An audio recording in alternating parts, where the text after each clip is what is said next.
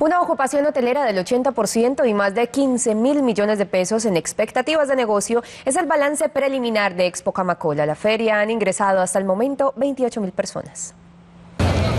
En los tres días de feria se ha tenido una derrama económica de 12 millones de dólares.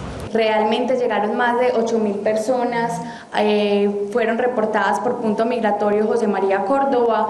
Estas personas que hacen gastan en los hoteles. Hasta el tercer día de Expo Camacol se alcanzó el 91% en la ocupación hotelera. La misión nacional de compradores con más de 61 compradores en la feria y estamos hablando de 15 mil millones de pesos en expectativas de negocios. 6.163 citas y contratos de negocios se han realizado en esta feria, de los cuales el 31% se han cerrado exitosamente. Entre cerrados y pedidos, cotizaciones potenciales, pasaríamos de 250 millones de dólares que tuvimos hace dos años a 328 millones de dólares. Se espera que al finalizar la feria especializada de la construcción lleguen 60 mil personas y se cierren negocios por más de 70 millones de dólares.